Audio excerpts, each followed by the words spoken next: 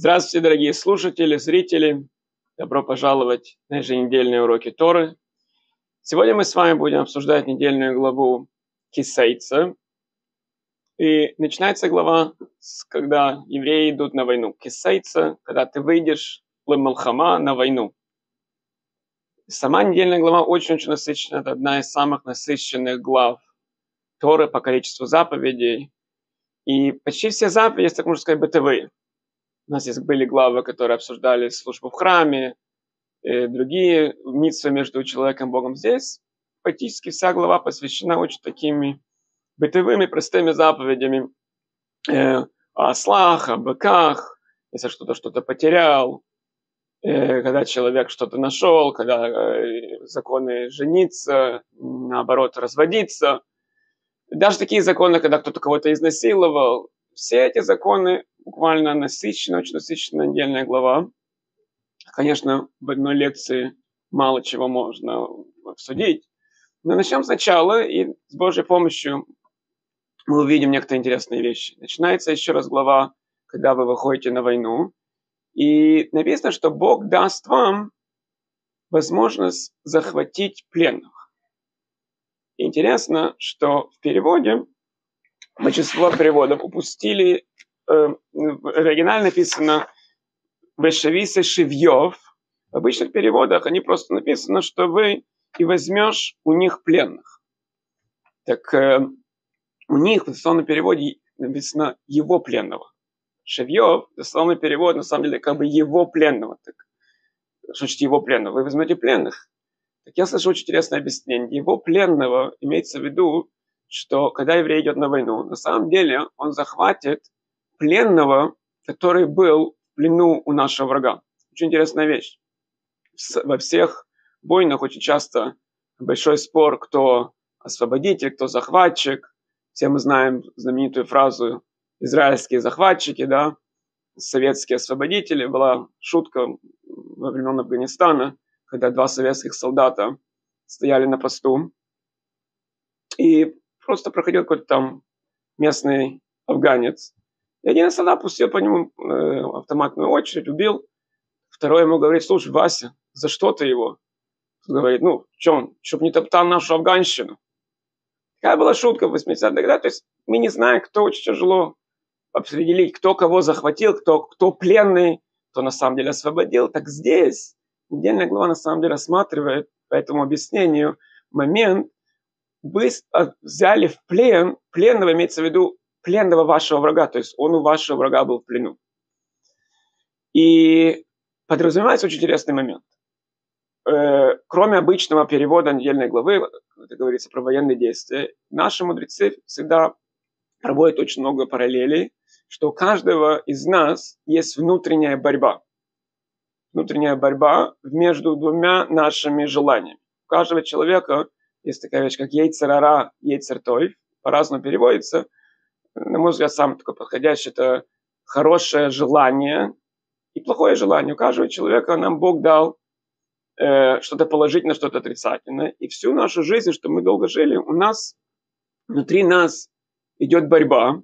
Я буду чаще использоваться слово борьба, хотя наши мудрецы пользуются словом война.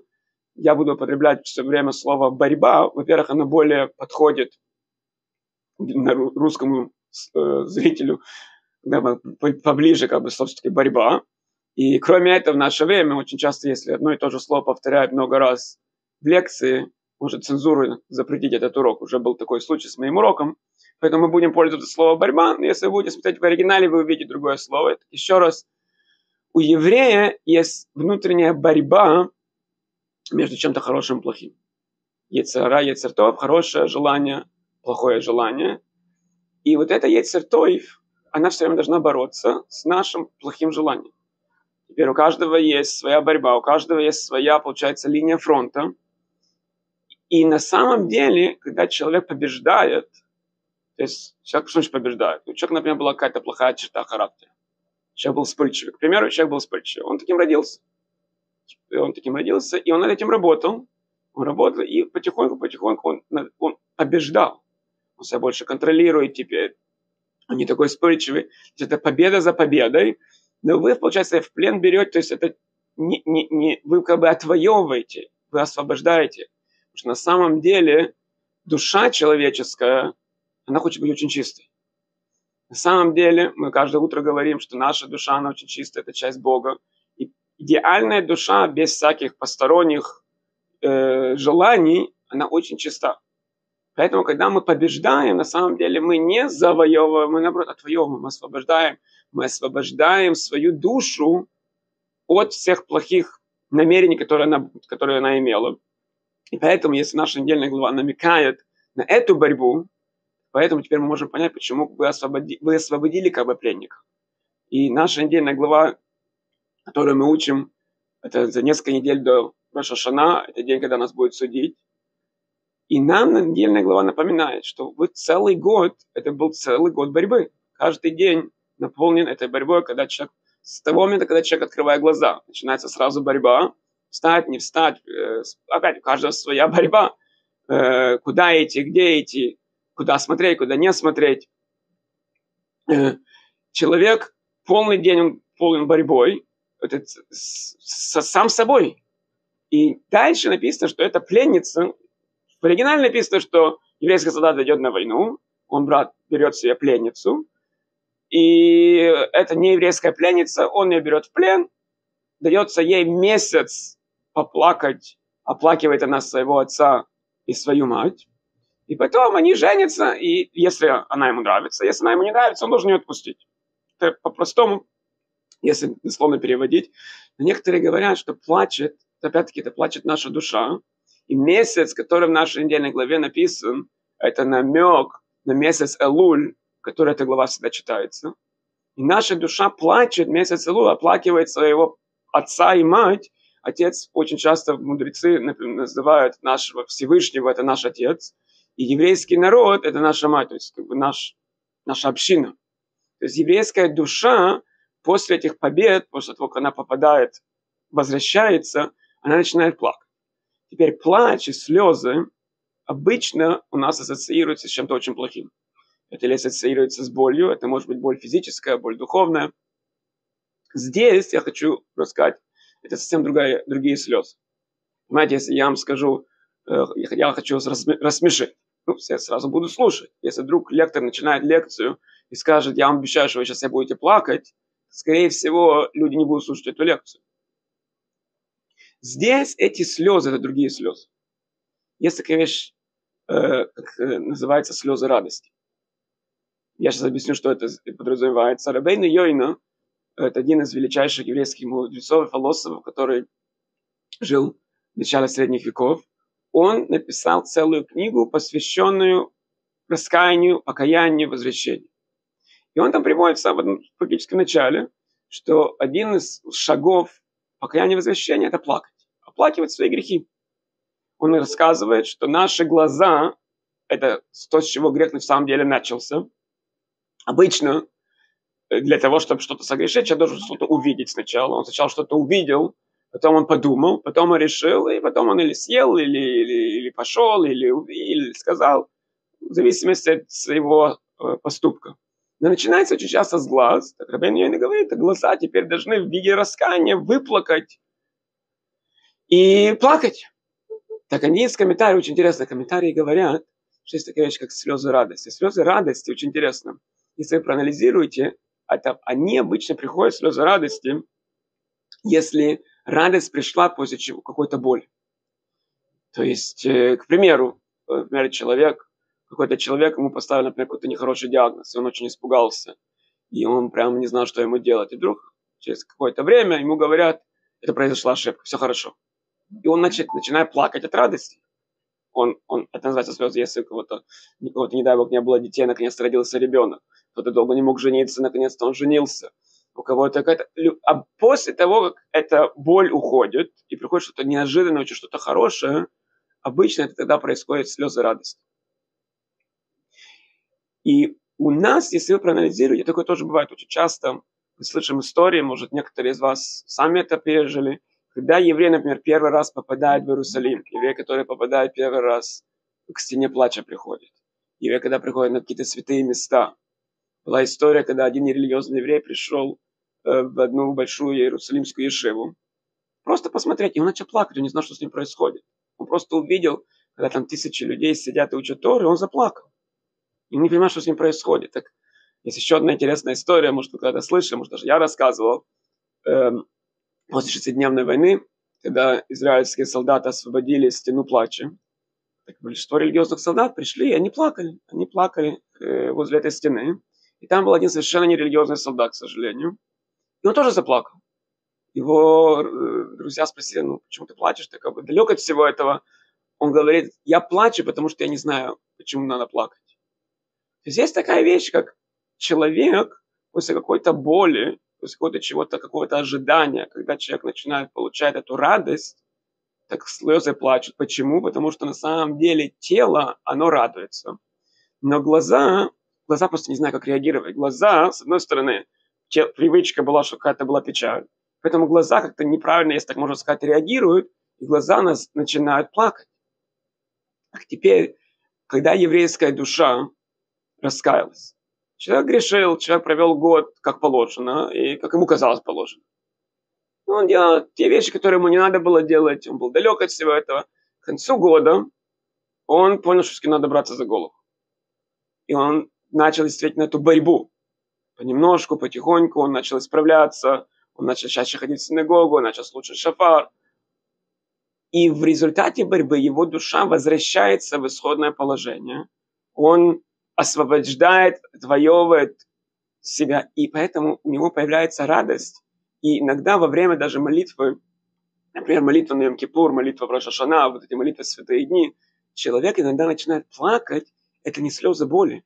Это на самом деле, если вы проанализируете слезы радости, потому что его душа, он может даже не понимать, что с ним происходит, что плакать, но его душа просто возвращается там, где она должна на самом деле быть. И он поэтому плачет. Поэтому, когда в нашей недельной главе написано, что пленница будет плакать месяц, некоторые говорят, что это намек на нашу еврейскую душу, которая весь месяц Салуй будет оплакивать, не оплакивать печально, а возвращаться к Торе и возвращаться к нашему Всевышнему. И поэтому наша недельная глава начинается про это, об, об этой борьбе. После этого я вам хочу рассказать, что не только в нашей недельной главе этот намек про борьбу, войну. Если вы посмотрите Кахелет. Кахелет Короткое вступление. Каэлет, по-русски более привычно к нам э, слово экклезиаст, написан был э, Шлойма Амела, царь Соломон. Царь Соломон, три его книги включены в Танах. На самом деле написано, что он написал много книг, но эти три его произведения, на самом деле, он их составил, он их не записал. Они были записаны именно как произведения позже, но составлены они были царем Соломоном. И Раши в трактате Бамбасана говорит, что ему кажется, что первые, сначала, он, когда он был молодым, он написал песен песней, потом он написал, когда он уже, ну, как бы средний период своей жизни, он написал Мишлы, притчи. Когда он уже был старым, в конце своих дней, на самом деле не так много жил, он жил только 52 года, но к концу своих дней он написал вот этот Кехелос. То есть это произведение написано было самым мудрым из когда-либо кто-то когда-то жил. И не только оно было написано, это когда он уже был пожилым, то есть он уже набрался мудрости, если можно сказать. Если вы посмотрите, кстати, тоже к концу, в середине 9 главы Каэлиса говорит царь Соломон, вот еще такую мудрость видел я под солнцем. То есть сам царь, царь, царь Соломон, Шлой Мамела говорит, что это мудрость. Вот какую мудрость видел я под солнцем, и велика она для меня. И тут начинается рассказ. Притча, рассказ городок небольшой, и люди в нем, людей в нем немного, и подступил к нему великий царь, и обложил его, и воздвиг против него большие осады и укрепления. То есть засада, это самая осада. Осада, нападение, маленький городок, он окружен каким-то царем. Но нашелся в нем мудрый бедняк, и он вызволил этот город мудростью свою, но никто не вспомнил об этом бедном человеке. Я подумал, Мудрость лучше отваги, но мудрость бедняка презирают и слов его не слушают. Какая-то непонятная история. Был какой-то городок, там немного людей, какой-то царь его окружил, там какой-то бедняк спас. Что мудрость? Где мудрость? Тут, по-моему, все согласны, что нужны комментарии. Слава Богу, нас не оставили без комментариев в, в Талмуде, в трактате Дендорим, Приводится объяснение, что это значит. В трактате Недорим объясняется, что маленький городок – это наше тело, это мы с вами. Каждый из нас – это маленький город. Многие из вас, конечно, знают всякие параллели, что каждый человек – это звезда, каждый человек – это планета. В данном случае царь Соломон говорит, что каждый из нас – это маленький городок. В нем немного людей – это наши части тела. У нас есть руки, у нас есть ноги, у нас есть уши. Есть разные части тела, которыми мы работаем. То есть мы как один большой, небольшой, небольшой городок, у нас есть части тела. Великий царь, который обложил его, на кто на нас нападает? Кто этот великий царь? Это Ейцерара, вот это дурное, дурное, плохое побуждение, которое на нас напало. Машо, это комментарий на Гемору, то есть получается комментарий на комментарий. Машо объясняет, что потому что почему-то мы так решили, что это именно Ейцерара, потому что написано, что царь обложил, царь воздвиг. Обычно не царь делает, это же армия должна делать. Потому что это образно, но почему царь Соломон говорит, почему Шлойма Мело говорит, что царь, какой-то великий царь обложил, напал? Его армия, царская армия. Поэтому Талмуд объясняет, что на самом деле не говорится о целой армии, говорится о одном царе, это Яцера. Этот царь, он у вас есть, у каждого из моих слушателей. Я уверен, что вы большие цадики, большие праведники. Написано, сам, сам, сам царь Соломон сказал, что нету праведника, который никогда не грешил. Так у каждого из нас есть этот царь. Почему он называется царем? Потому что если мы ему дозволим делать то, что он хочет, он будет над нами царить. Он будет нами управлять. Этот царь пытается захватить город, нашелся бедный мудрец. Это наше хорошее побуждение. В каждом городе, в каждом из нас есть хорошее побуждение, хорошее желание, есть которое благодаря Торе, благодаря Мицвод, может бороться с этим царем, но царь Соломон говорит, о нем никто не думает. И Гемора говорит, что когда на человека нападает этот царь, никто не думает о чем-то хорошем, человек может попасть в ловушку. То есть мы видим царь Соломон, видим, что Талмуд тоже провел эту параллель, что каждый из нас – это городок, каждый из нас должен бороться, каждый из нас, мы, может, не обращаем это внимания, у нас есть линия фронта. Когда мы родились, когда мы пришли, у каждого из нас, кстати, эта линия фронта проходит совсем в разных местах. Есть люди, которые родились в, в израильском районе Мешарим, которые никогда вообще ничего не видели, они только из дома в синагогу, наверное, всю жизнь заходили. Их борьба, это, знаете, когда они уже там 10, 10 часов проучили Гемору и хотят идти домой, на самом деле у них есть еще силы полчасика поучиться. Так они должны бороться, заставить все-таки не только 10 часов учить Тора, а 10 с половиной. Это их борьба. И если они уйдут таки домой поспать, покушать, значит, они проиграли. Они вместо того, чтобы учиться 10 с половиной часов, они учатся 10, значит, это проигрыш. Значит, они сдали территорию, они отступили. Есть люди, которые родились в другом районе, не в Иерусалимском, есть, которые родились э, в городе, например, Биробиджан. И, и у них, может быть, был, был вопрос, начинать ли соблюдать кашрут. Есть люди, которые приезжают в Израиль, есть люди, которые в других странах. И на каком-то этапе жизни они понимают, что все-таки, как это мы евреи, они понимают, что есть Тора, есть Бог на свете, но привычка все-таки, и они осознают, надо начинать соблюдать кашрут. Сначала человек начинает говорить, ну, я не могу сразу начать все соблюдать, давайте на, на первых порах я хотя бы буду не кушать не кошерное мясо, хотя буду покупать кошерное мясо. Потом он покупает кошерную посуду. Потом он перестает кушать. И так потихоньку, на самом деле, что происходит, он километр за километр отвоевывает, освобождает, не просто захватывает, а освобождает территорию. Если он занял, теперь, значит, он уже все, он уже привык. Теперь он только кошерное кушает, все, значит, он победил. Теперь, когда он проходит мимо некошерного ресторана, его туда даже не тянет. Он настолько к этому привык, он, у него даже мысли нет, значит, он победил. Если все ему еще туда немножко тянет, да, он борется, значит, он еще врага не убил. И так далее. Опять-таки, у каждого своя линия, у каждого свое наступление.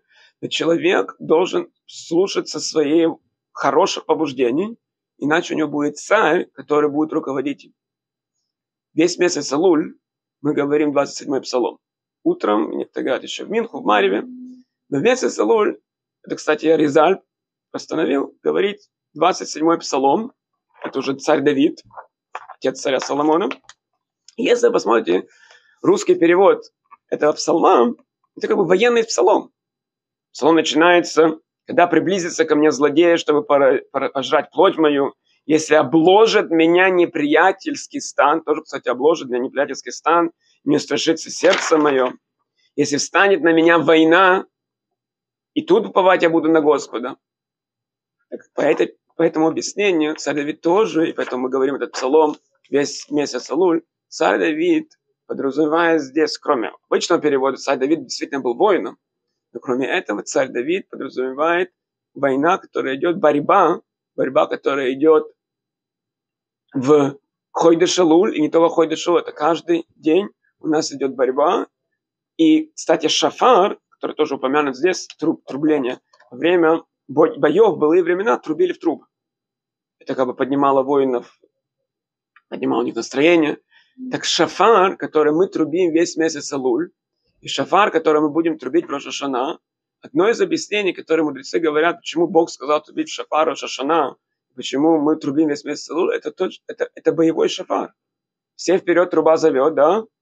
Потому что человек должен собраться своими силами и, и, и, и понять, что сейчас происходит. И, и может быть, посредине года тоже, конечно, надо так себя вести. Но особенно в эти дни, если человек знает, что есть вещи, которые он может исправить. Есть вещи, которые он должен исправить. Так это сейчас трубление шафара должно нас разбудить и пробудить, особенно в Рошашана. Очень важно, мы будем говорить еще про это.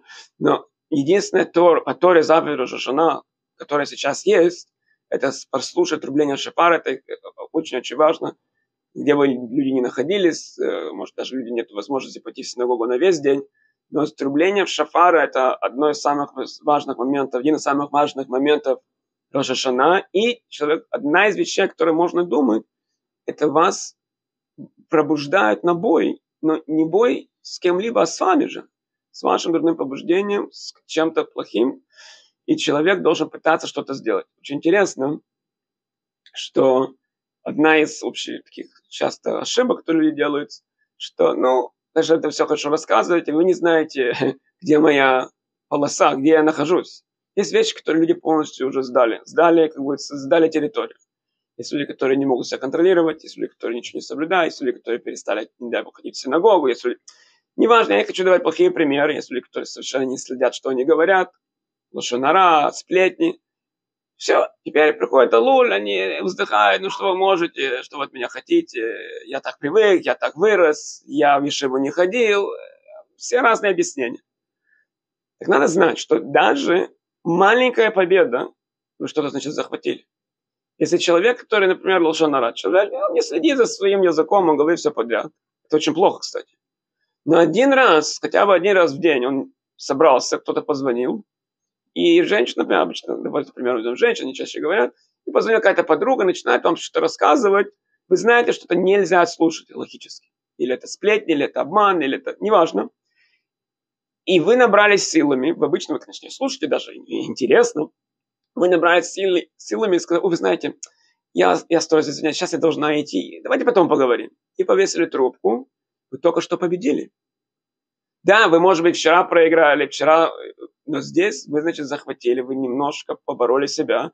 И так, если будет по нарастающей еще немножко, еще немножко, может быть, вы перестанете это делать. Но каждый, даже если потом на следующий день, к сожалению, опять произошло, и вы не победили. Но эта маленькая мини-победа, она никуда не денется.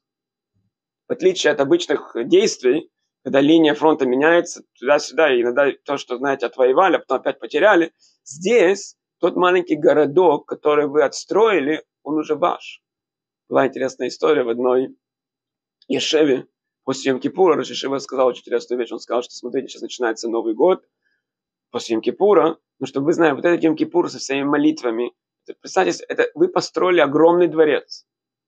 Как бы будущий год не шел, мы надеемся, что мы будем себя хорошо вести, и Ашем будет тоже нас любить. Но что бы ни было дальше, сиюминутно я что-то захватил, я что-то построил, это мое. Дальше, если мы продолжим, вернемся к недельной главе, в этом же тоне. Недельная глава говорит, что если у человека будет две жены, одна любимая, другая нелюбимая, и потом недельная глава приводит о сыне. Недельная глава говорит, что если у человека будет буйный, непокорный сын, который не слушается папу, маму, Сначала его предупредили, его выпороли, он все равно не слушается, и его закидывают камнями. Мудрецы объясняют, что Жуч Буры непокорный, непокорный, он украл у своих родителей деньги, он за эти деньги купил мясо и вино, и он, извиняюсь за выражение, нажрался. Мудрецы говорят именно такое слово, как бы. И его предупредили, чтобы он так не делал, его выпороли. Если он еще раз это сделает, его закидывают камнями. Мудрецы все комментарии бросаются, объяснять, что, что же происходит. Ну, я, не, я не говорю, что он такой большой интеллигент, но извините, закид, что закидывать камнями, его убивать. Раша говорит, что этот человек, как Кимора говорит, у него никакого будущего нет. Если мы видим, что он сейчас так, так себя ведет, он когда подрастет, мы говорим это о сыне, это говорится о 13-летнем парне. И, кстати, Гемор говорит, что такое никогда практически не, невозможно было, что такое случилось. Там было настолько много законов и нюансов. Некоторые говорят, что вообще никогда не случилось, некоторые говорят, что это практически никогда не случилось. Не переживайте. Но идея интересная. И, и комментарий объясняет, что тут Тора просто хочет нам сказать, что если человек будет поглощен и погружен в этот мир, если человек чувствует, что в этот мир он пришел попить и покушать, так он никуда не, даже не пойдет. Нам нужны такие солдаты. Опять-таки в духе того, что я вам рассказывал, у человека должно быть какое-то желание сражаться. Теперь ни в коем случае не думайте, что Тора против этого мира. Наоборот, если вы немножко знаете про иудаизм, мы очень любим гефалтефиш, мы, мы и кушаем, и пьем, и женимся, и детей воспитываем. Но человек должен следить, чтобы он не был в этом погружен чтобы он жил по-еврейски, пользуясь наслаждениями этого мира для того, чтобы они ему помогали и так далее, но не может человек быть погружен и только этим жить. Если мы видим 13-летний парень, который только у него бармица была, и он уже ворует деньги, чтобы по по поесть, попить, и, и его предупредили, это не помогает, у, у, у него только будет плохо, он только будет грешить. И поэтому Тора, Тора сказала, что лучше ему прекратить жизнь, чем жить так, как он живет. Теперь сам вопрос, опять-таки, не, не, не тема моего урока. Люди общепринято, конечно, считают, что жизнь, жить это хорошо, и противоположная жизнь это очень-очень плохо.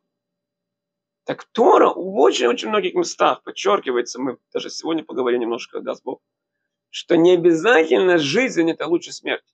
Бывает жизнь, которая хуже, чем лучше бы человек вообще не приходил в этот мир.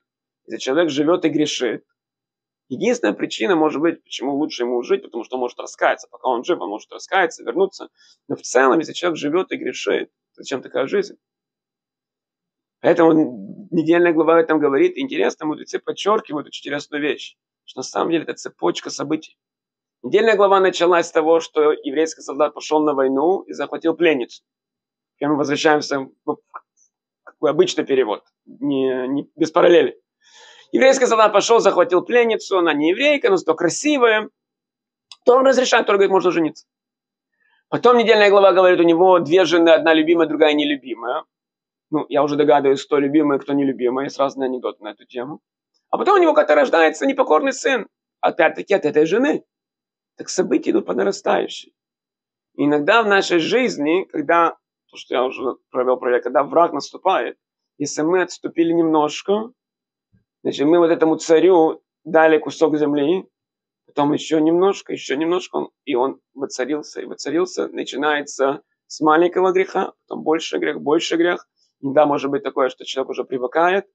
И наша недельная глава это учит, что человек должен быть очень аккуратен, чтобы не сдавать, потому что по нарастающей может пойти очень плохо. С другой стороны, если немножко дальше посмотреть в недельной главе, с точки зрения положительной точки зрения, Сначала там приводится митсва, э, если вы увидели птицу в гнезде, и вы хотите забрать яйца или птенцов, вы обязаны сначала отогнать мать этих э, самку, только потом берите яички, митсва, прогнать, чтобы не издеваться над, э, над мамой, сначала ее прогнать, потом вы берете яйца.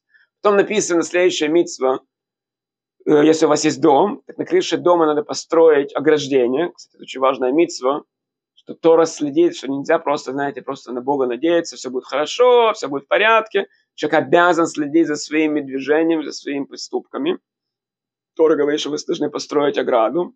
Потом написано о винограднике, потом написано о вашей одежде. Раша говорит, что если ты удостоился Сначала начинается с очень, с очень легкой митцвы. Ты прогнал птичку. Это, сколько там стоит, я прогнал. Вы похлопали, птичка улетела. Очень простая митцва.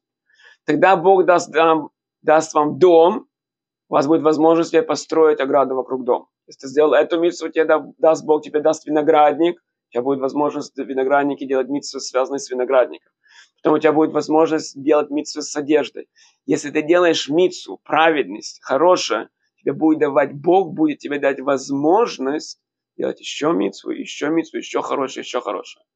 То есть, опять-таки, это пошло наступление, мы отвоевываем, мы завоевываем, мы делаем расти, может, человек может расти, и Бог будет помогать.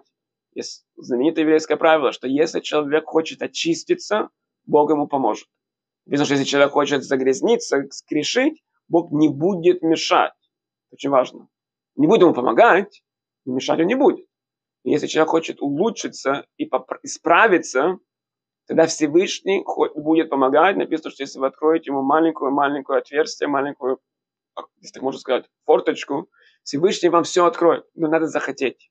Надо как бы, это наша недельная глава называется кисей целомахома. Надо хотя бы выйти. Надо хотя бы постараться. И потом Бог даст силы. В нашей недельной главе, раз мы уже начали о бытовых заповедях, один из запретов это тоже не пахать вместе с быком и ослом. Нельзя в одну упряжку запрясти, запрячь быка и осла. Кстати, есть очень много интересных объяснений. Э, есть одно объяснение, потому что бык – это очень по природе сильное животное, осел послабее.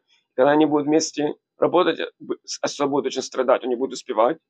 Есть, которые говорят, что бык – это как бы царь домашних животных. Вот очень такое красивое животное. Осел – это осел. Это как бы некрасиво осла с быком вообще запрягать. Есть еще интересное объяснение, что бык – это жвачное животное. Поэтому бык, он все время жует. Осел это не жвачное животное. Когда они будут вместе работать, осел будет смотреть завидно. Осел будет все время смотреть на своего быка, своего коллегу. А коллега все жует, да жует, да жует, а бедный осел голодный. Он же не знает, он же осел, он не знает, что у быка так э, желудок устроен. Так это нечестно. И не... То есть мы пытаемся не мучить животных. Кстати, написано, что точно так же, когда вы берете на работу комментарии говорят, что даже нехорошо, когда два человека, которые по, по своей структуре разные люди, нехорошо, чтобы они вместе работали. Если в одном офисе один человек, хоро, оба очень хороших, может быть, еврея, но один по, по своей структуре, например, очень такой мягкий, другой более суровый и так далее, это нехорошо вместе работать. Но еще интересное есть объяснение, когда я слышал, что осел, слово осел на, на святом языке это хамор. Хомер на самом деле это материал. Наши израильские слушатели, конечно, знают, хомер это материал. Осел это очень такое материальное животное. Оно простое. Осел он и есть осел. И не кошерный. Бык, это уже, это на самом деле самое большое кошерное домашнее животное. Кстати, он кушает жвачку, одна из причин, почему Тора сказала, что кошерное животное кушает жвачку, ему не надо много кушать. Он одну и ту же жвачку жует себе, жует, жует, жует, жует. Ему не надо слишком много кушать, он не кушает мясо, ничего, он себя жует. Так осел, некоторые говорят, это символ материального мира. Он хомер, хамор. Это материальный мир. Бык, с другой стороны, наоборот, он выше всего этого. Человек должен следить, когда он в мире живет, не увлекаться то же самое, не увлекаться, чтобы не было вместе осел и бык у тебя. У нас есть мир материальный, у нас есть духовный, и надо всегда найти место, надо пользоваться. Мы вами должны пользоваться. Надо пользоваться материальным миром. Да, пусть у человека будет то, что я вам рассказывал. Да, у человека есть мир. Человек может в этом мире, он может э, делать митцу, ему дан дом, чтобы э, делать митцу, ему дали дом, чтобы он может построить, надеть мизузу, у него есть цицет, чтобы надеть кисти. Пожалуйста, но не забывать, до чего мы в этот мир пришли, и не путать, не путать физический и физические и духовные миры. У нас есть отдельно, у нас есть отдельно осел, у нас есть отдельно бык. Дальше продолжается в нашей же недельной главе. Мы, э, если мы идем дальше, есть очень интересная заповедь, написано, что человек не имеет права жениться на некоторых народах. Есть запрещенные народы, это в наше время, в наше время это совершенно не э, распространяется для заповеди, потому что все народы пере, перемешаны, поэтому в наше время ничего такого нету. И есть запрещенные народы, на которых нельзя жениться. Один из них – это мавитяне. И про мавитян, когда написано про мавитяне, очень интересно. Написано про мавитян, что поскольку, когда евреи выходили из Египта, они наняли Билама, они его хотели проклять, так тут Всевышний очень так строго к ним относится, написано, не ищи мира, мы, к ним, мы как бы с ними в ссоре. Моавитяне и, и а, а, аманитяне, это два таких неприятных народа, мы с ними в ссоре, потому что когда евреи выходили из Египта, они наняли, написано, они наняли специально женщин, чтобы евреи грешили и так далее. Сразу после этого написано, что нельзя жениться на египтянах. Но там ничего не написано, что их надо ненавидеть, все. Надо просто, нельзя, три поколения надо подождать. Если какой-то египетский э, нееврей принял иудаизм, его внуки уже могут жениться на еврейке.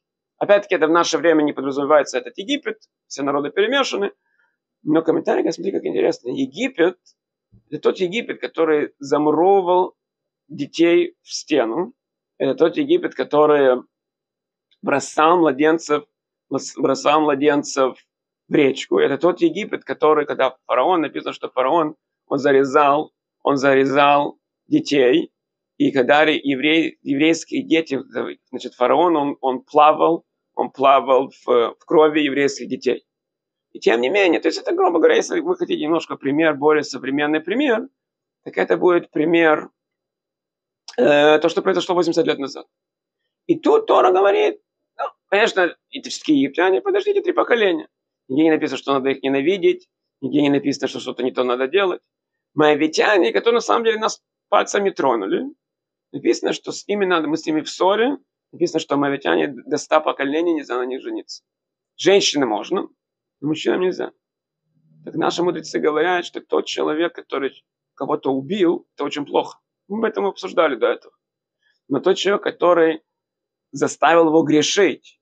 Если вы помните, мавитяне, там э, пришли мавитянские девушки, еврейские парни начали грешить, погибло 24 тысячи людей. Это страшнее, чем смерть. Потому что грех, когда человек грех, это наша душа, мы теряем нашу душу. Человек, который грешит, смотря какой грех, он теряет нашу душу. Так Тора, сама Тора говорит, что, конечно, это страшно, то, что нам сделали египтяне, но моавитяне нам сделали что значительно страшнее более на современном уровне. Ни в коем случае я не говорю с точки зрения лох, я ни с кем не советовался.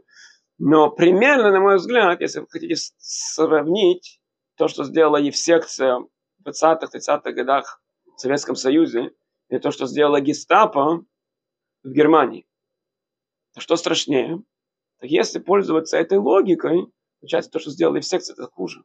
Потому что миллионы еврейских людей, евреев Советского Союза, полностью были оторваны от религии.